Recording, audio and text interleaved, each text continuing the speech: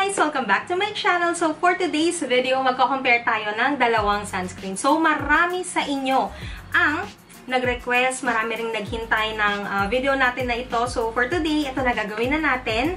Pagkukumparahin natin itong dalawang sunscreen na ito, kinikilig din ako kasi pareho silang nakaka-intriga kung ano yung mas maganda for dry skin, ano yung mas maganda for oily skin. So, for sure, sa video na ito, marami pa tayong madidiscover dito sa dalawang ito. So, first, This is the Jeju Aloe Eyes UV Sunblock. And ito namang isa na kalaban niya ay itong 98% Tomato Glass Skin Sun Gel. So, pareho silang under ng Fresh Skin Lab, guys. So, yun nga, nakaka-intriga, ba diba? Under one company lang. Pero, dalawang best-seller sunscreen meron sila. So, compare natin in today's video. So, simulan ko lang sa availability nila. Um, for me, parang silang available na nasa Watsons, alam mo, available din online. So, in that case, hindi tayo mahihirapang maghanap. Pero, mas na-challenge ako um, maghanap nitong tomato glass skin kasi nung huli ko siyang nakita, nag-iisa na lang siya dun sa pwesto ng mga sunscreen. And the rest ng mga brands, ang dami pang stock. Tapos itong kay Fresh Skin Lab, nag-iisa na lang siya. While itong Jajo Aloe Eyes, medyo marami pang stock. So, Both naman available sa Watsons, kaya lang parang mas mabilis tong ma-sold out. Packaging nila guys ay pareho lang din. So, kung makikita nyo, nasa tube lang din sila. Tapos, ganito yung mga opening nila. Or ganito yung pang-transfer ng product. Tapos, pareho rin sila guys na merong 100 ml each.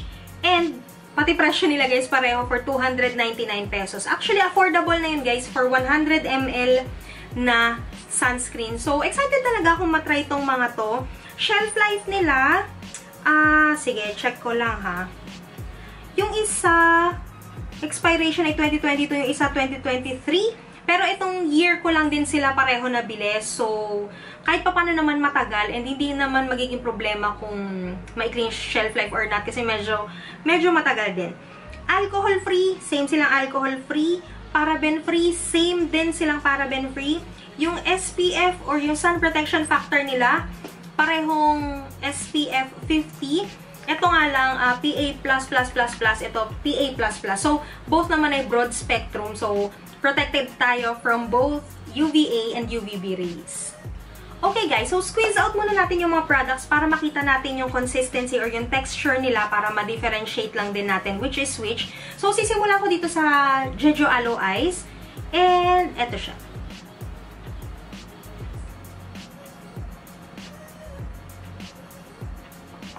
As you can see, kulay puti yung cream niya and hindi siya flowy, may pagka-thick. And compare naman natin yung kay Glass Skin Tomato. Okay. So, sa nakikita ko naman, uh, mas uh, parang cloudy lang yung pagkakulay. Parang ganun ko siya i i ano i describe ito white tapos parang ito medyo cloudy lang. And mas watery si tomato sangel so blend lang natin. Tignan natin yung difference nila kung sticky ba sa first or not. Okay so Feeling ko napansin nyo naman, ito guys, medyo parang uh, more on nasa cream type siya. Then ito naman, yun nga, uh, gel type siya. So, nung binlend ko yung tomato, para siyang yung toner nila na nagme-melt into water. And I think mas madaling ma-absorb ng balat yung ganito compare sa ganitong texture or sa ganitong uh, consistency ng product. So, te-test out natin to later sa aking face.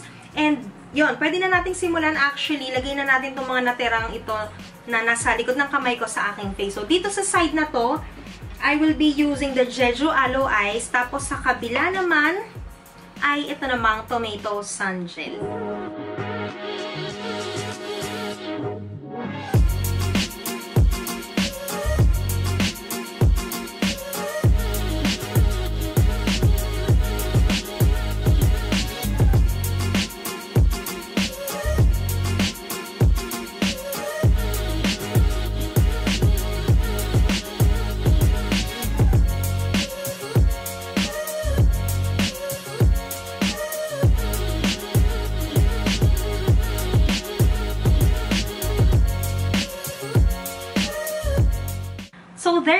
Guys. Na-apply ko na both products sa aking face. So, again, dito sa side na to, ang ginamit ko ay itong Jeju Aloe Eyes. And then, dito naman sa, sa kabilang side na ito, ay yung tomato glass skin. So, panggitin ko lang guys, yung ilang definition of terms na nakikita natin sa mga packaging ng ating mga sunscreen para lang sa mga hindi nakakalam. Ano?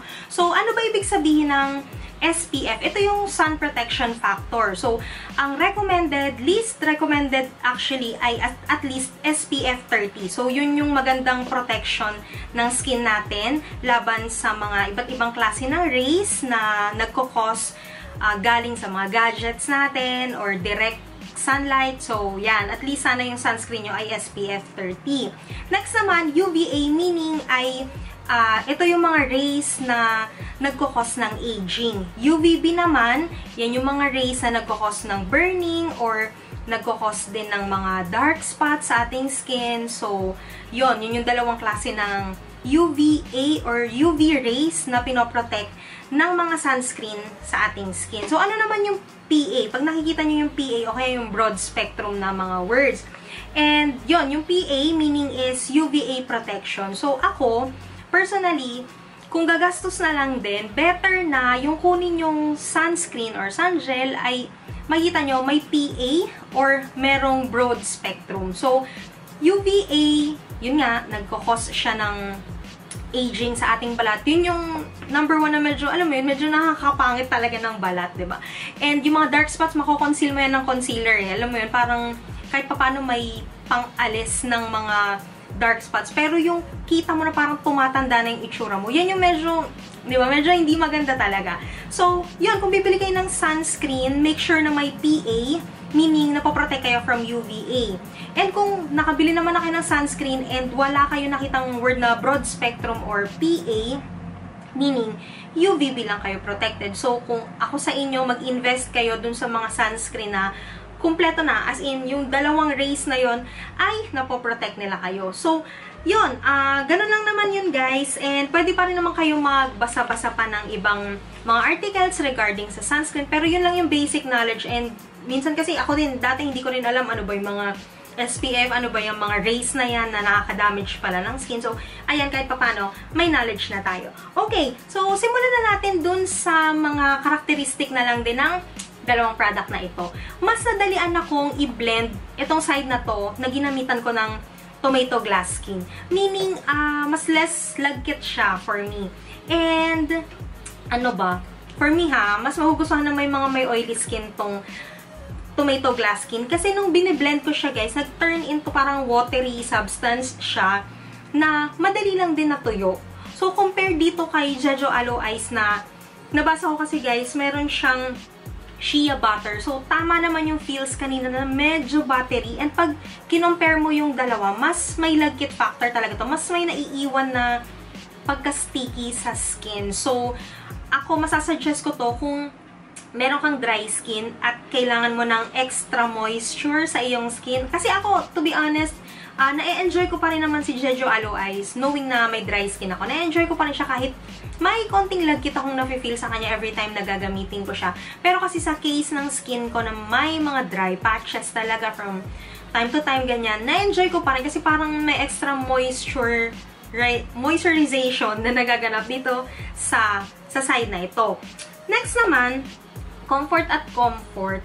Hmm, kahit na may dry skin ako guys, mas komportable yung pakiramdam ko dito kay uh, tomato glass skin. Pero, actually guys, pwede naman din tong gamitin ng kahit anong skin type. Ito namang aking sinasabi, eh para lang dun sa mga nagtatanong kung ano ba yung pakiramdam. Like, ano ba yung mas magaan, ano ba yung may mas lagket. So, ayan, pwede kayong uh, bumalik dito sa video na ito para, yun, para sa mga ganong information. But for me, um, kung ako yung papipiliin, mas gusto ko si Tomato Glass Skin. Mas madali siyang i-handle versus kay Jejo Aloe Eyes. Yung ibang may oily skin, nagwo-work din sa kanila to. So, probably, ang maganda pa rin is i-try nyo sila. Pero kung ako, pabibilin or papipiliin ng isa lang, like isa lang, pwede mong gamitin sa buong buhay mo, pipiliin ko si Glass Skin. Tsaka, uh, mas gusto ko yung ano niya, yung pagka mabilis niyang ma-absorb. Hindi yung parang bago ka lumabas ng bahay, parang hindi ka confident dahil may lagkit factor sa iyong skin. While dito, ayan na, parang matte na matte na siya. Dito guys, promise hindi pa. And even yung dewiness or yung glow sa skin, oo, glowing nga dito kay Jejo Aloes. Pero, yun nga kung may oily skin ka, probably hindi mo magustuhan. While dito kasi, ayan, parang saktong-sakto lang yung glow niya. Dito, parang medyo mamantika. Gawa nga nung shea butter probably. Though pareho silang may mga oils. So, yun, uh, mindful lang kayo na may mga oils naman talaga tong mga to. Kasi, at least, ba para may, may mag-moisturize naman ang face natin uh, habang pinoprotect tayo sa mga iba't ibang klase ng UV rays. And, again, for me, Sulit naman tong products na to. Pareho sila ng presyo, pareho ng packaging, pareho ng content. Yun lang, magkakatalo lang dun sa comfort kung ano yung mas gusto nyo. And mind you guys, ito yung mga product na hindi nyo dapat pang hinayangan. Alam mo yun, parang kahit na wala kang foundation, basta protected ka sa UVA and UVB rays, for me, mas pipiliin ko yon. Another thing guys na nakakatuwa ay hindi sila parehong nagpo-provide ng white cast sa aking face. So, pareho naman, ayan, wala naman masyadong difference. Though dito may pagka, may konting-konti, no? May konting-konti na parang mas maputi or parang mas na-brighten tong area na to using yung Jejo Aloe Eyes. Pero, kay tomato, tomato, glass skin, wala talaga. As in, parang same, same skin tone lang. Dito medyo na-brighten. Pero, hindi naman yung kasing lala nung ibang sunscreen. And another thing guys, ito importante to, meron kasing mga sunscreen na nakakasira ng mga coral reefs. So, kung kayo ay magbi-beach, ang masasuggest ko na gamitin nyo ay itong tomato glass skin kasi wala siyang content na ethyl hexyl or tinawag nilang octinoxate. And yun yung, yun yung uh, chemical guys na nakakasira ng mga coral reef. So, kung nasa bahay lang naman kayo or kung gusto nyo yung, yung basta yung pang araw-araw lang na hindi nyo naman kailangan lumublob sa dagat para mag-swimming and all, pwede naman tong Jejo Aloe Ice. Pero, again, lalo nag-summer, yun nga lang, naka-lockdown tayo lahat. So, wala masyadong nakapag-beach. And, yun, ang masasuggest ko pagdating sa mga beaches, eto ang gamitin nyo, yung tomato glass skin. Kasi nga, safe ito sa mga coral reefs. So, that's it guys for today's video. Natuwa ako sa ating comparison video and sana marami kayong natutunan dito sa ating uh, content for today. And banggitin ko lang guys, sabasa ko merong cooling effect itong Jejo Aloe Ice. Pero ako personally, wala naman ako masyadong nararamdaman na lamig. Siguro pwede siyang i-ref, kagaya ng ibang recommendation nila sa ibang Jejo Aloe Ice na mga products na i-ref daw. Pero ako ngayon, wala ko nararamdaman ganong malamig sa aking face. So, parang same-same lang at all. So, yun lang guys. Again, kung tatanungin ako, pang, pag may oily skin ka, ito yung marirecommend ko, itong tomato glass skin. And kung may dry skin ka, since may shea butter to, ito naman yung marirecommend ko, yung Jeju Aloe Ice. And alam nyo naman yung aloe vera per se, talagang ginagamit siya kapag, yun nga, dry yung face, even sa hair, pag frizzy na yung hair, ganyan. So, yun yung mga gamit talaga ng aloe vera. So, kung meron kang super, super dry skin, eting marirecommend ko sa'yo. So, that's it guys. Sana, again, may natutuhan kayo. Comment lang if you have questions or kung meron kayong mga inputs na mga hindi ko nabanggit and probably makatulong sa iba pa nating viewers, i-comment nyo lang sa comment section. And, yun. Thank you so much for watching. Again, don't forget to subscribe and I'll see you in my next one. Bye!